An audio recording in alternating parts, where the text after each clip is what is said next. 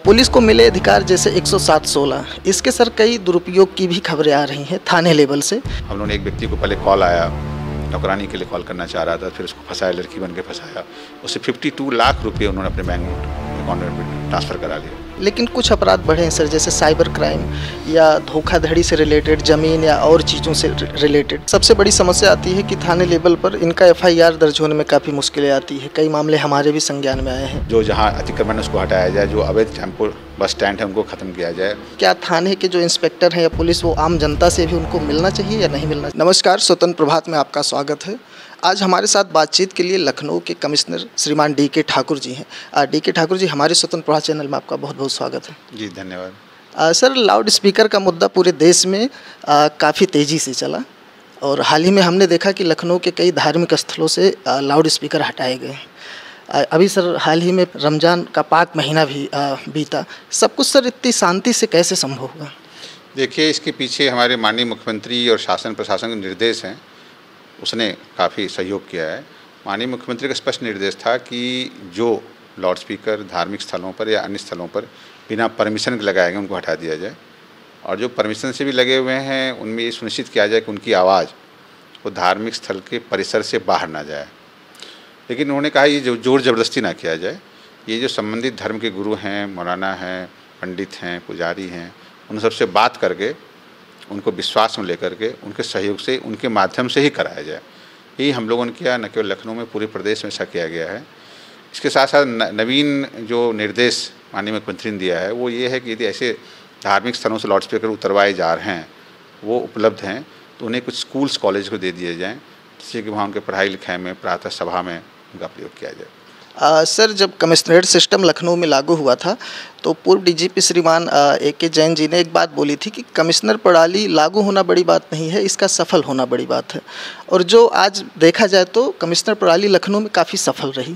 लेकिन sir police को मिले अधिकार जैसे 107-16 इसके सर कई दुरुपयोग की भी खबरें आ रही हैं थाने लेवल से।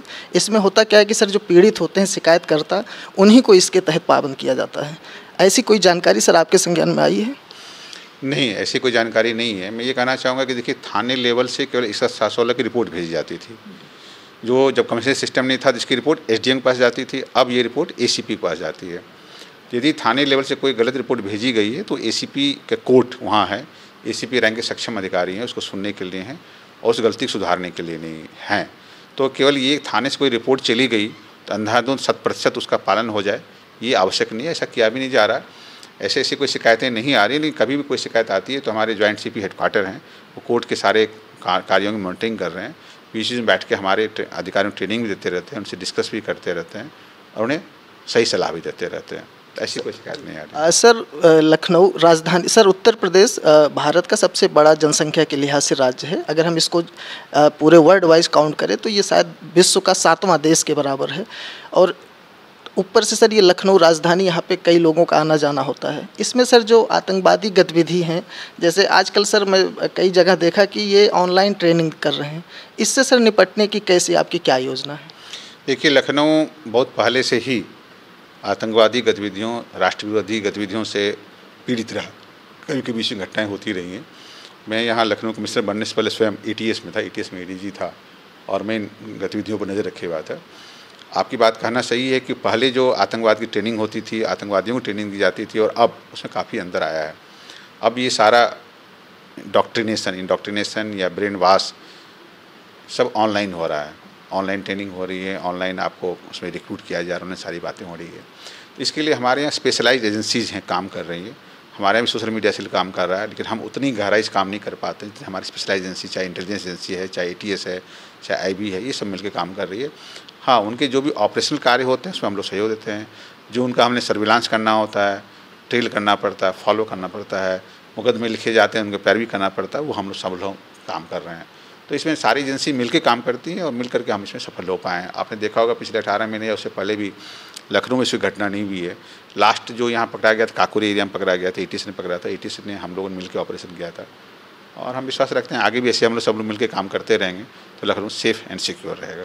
सर, लखनऊ में वायलेंस अपराध में काफ़ी कमी आई है, लेकिन कुछ अपराध बढ़े हैं, सर, जैसे साइबर क्राइम या धोखाधड़ी से रिलेटेड ज़मीन या और चीज़ों से रिलेटेड इस पर सर कैसे आप एक्शन ले रहे हैं? आप सही कह रहे हैं, जहाँ तक साइबर क्राइम की बात है साइबर क्राइम बढ़ेंगे आगे भी।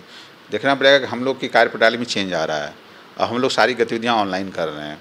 हमारे बैंक के हम लोग बस पंद्रह साल, बीस साल पहले महीने में चार या पाँच बार बैंक चले जाते थे, कैश विड्रॉ करने के लिए, कैश डिपॉजिट करने के लिए या कुछ और कार्यों के लिए। अब किसी कोई बैंक जाने की ज़रूरत नहीं पड़ती, ज़्यादा से ज़्यादा आप एटीएम जाते हैं या अपने ऑनलाइन पेमेंट करते हैं, चाहे आर के माध्यम से करते हैं या ऑनलाइन बैंकिंग करते हैं, नेट बैंकिंग करते हैं या गूगल पे वगैरह के माध्यम से करते हैं। जब ऑनलाइन माध्यम से करते हैं, उसमें ओ का एक्सचेंज होता है या आपके फ़ोन को हैक कर लिया जाता है या आपके फ़ोन पर मेलिसिस कॉल आते हैं, आपके एटीएम पूछ ले जाते हैं ओ टी पी पूछ लिए जाते हैं, पिन पूछ लिए जाते हैं। तो इसके माध्यम से जो होने वाले फ्रॉड हैं, आगे भी बढ़ते रहेंगे। इसके बढ़ने की वजह और ये भी है कि इसके जो लोग कर रहे हैं, वो आपके प्रदेश में नहीं है, आपके ज़िले में नहीं है। कोई जामतारा झारखंड बैठे कर रहा है, कोई पश्चिम बंगाल में कर रहा है, कोई जयपुर में बैठे कर रहा है।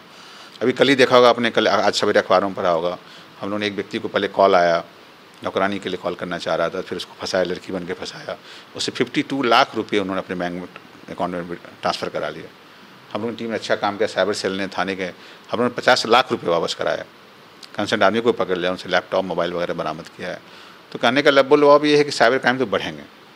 हम क्या कर सकते हैं? नंबर वन की एक जनता जागरूक हो, अवेयर हो। और जनता की जागरूकता, अवेयरनेस के बाद अपराध काफ़ी कम होंगे। और जहाँ उसके बाद भी जो छोटे मोटे अपराध होते रहेंगे, उसको, उसमें हम लोग अपने जो पुलिस पर्सनल है, उनको ट्रेन करेंगे, उनको एजुकेट करेंगे, जिससे कि अच्छी से इन्वेस्टिगेट कर पाएँ। अच्छे से केसेस को डिटेक्ट कर पाएँ और इनके पीछे जो लोगों को पकड़ के उनको चार्जशीट कर पाएँ सज़ा दिला पाएँ। सर सबसे बड़ी समस्या आती है कि थाने लेवल पर इनका एफआईआर दर्ज होने में काफ़ी मुश्किलें आती है। कई मामले हमारे भी संज्ञान में आए हैं जो साइबर क्राइम के पीड़ित होते हैं। इस पर सर कोई योजना?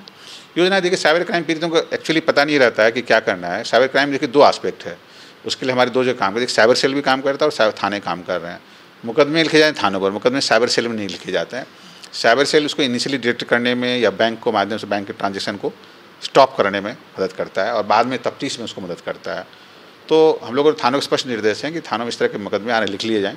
मैं आपकी बात मानता हूँ समझ हूँ, कहीं कबार एक दो बार बात आती है कि थाने मुकदमे लिखने में विलम्ब होता है, लेकिन हम लोग इंश्योर कर रहे हैं कि थाने मुकदमे लिख जाएँ और साइबर सेल के साथ मिल करके उसका प्रॉपर इन्वेस्टिगेशन हो जाए। सर, लखनऊ में ट्रैफ़िक व्यवस्था काफ़ी बेहतर हुई है। ये मैं नहीं लखनऊ की जनता कह रही है। इसको सर और बेहतर कैसे किया जाए? इस पर हम लोग काफ़ी एंगल से काम कर रहे हैं। अभी आपने देखा कि माननीय मुख्यमंत्री ने स्वयं निर्देश दिए हैं कि ट्रैफ़िक को अच्छा बनाया जाए, जो जहाँ अतिक्रमण उसको हटाया जाए, जो अवैध टेंपो, बस स्टैंड है उनको ख़त्म किया जाए।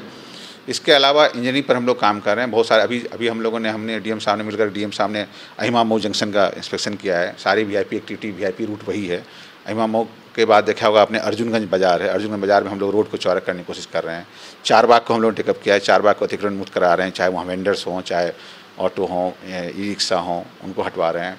पॉलिटेक्निक को हम लोगों ने टेकअप किया है, पॉलिटेक्निक हाईकोर्ट भी मॉनिटर कर रहा है। तो हम लोग धीरे धीरे लखनऊ में माननीय मुख्यमंत्री के निर्देश पर अदरवाइज़ भी इसको अतिक्रमण मुक्त करने की कोशिश करें, इससे ट्रैफ़िक की व्यवस्था और स्मूथ हो पाए। सर एक लास्ट सवाल आ, मैंने यहाँ आने के पहले सर आ, आपके बारे में थोड़ी सी रिसर्च की थी जिसमें हमने आपके पुलिसकर्मी से ही आपके बारे में कई जानकारी ली थी। एक चीज़ सर कॉमन थी हर एक छोटा सिपाही से लेके एक इंस्पेक्टर रैंक अधिकारी एक चीज़ कहता था कि आप सर एक चाहे वो थाने का सिपाही हो चाहे इंस्पेक्टर हो सबसे बहुत ही कायदे से मिलते हैं। यही सेम चीज़ सर क्या थाने के जो इंस्पेक्टर हैं या पुलिस वो आम जनता से भी उनको मिलना चाहिए या नहीं मिलना चाहिए? एकदम मिलना चाहिए मिल भी रहे मैं आपने जैसा कहा हम एक सिपाही से मिलते हैं साथ साथ शायद उन्होंने ये बात कही हुई है भूल गए हम एक आम जनता से मिलते हैं। आप बैठ कर भी देखेंगे कोशिश करता हूँ रोज़ दस से दो इसी ऑफ़िस में बैठूँ। जो आ रहे हैं उनसे मिलूँ उनकी समस्या का समाधान करूँ। और जब मैं कर रहा हूँ तो मेरे सबॉर्डिनेट्स को भी यही निर्देश है वो भी इसी तर्ज पर काम करें और वो काम करेंगे। इसको हम लोग सुनिश्चित कराएँगे। बहुत बहुत धन्यवाद सर अपना कीमती समय देने के लिए। आ, ये हमारे साथ लखनऊ के कमिश्नर श्रीमान डी के ठाकुर जी थे। आ, नमस्कार धन्यवाद कैमरामैन रोशनी के साथ विपिन शुक्ला स्वतंत्र प्रभात लखनऊ।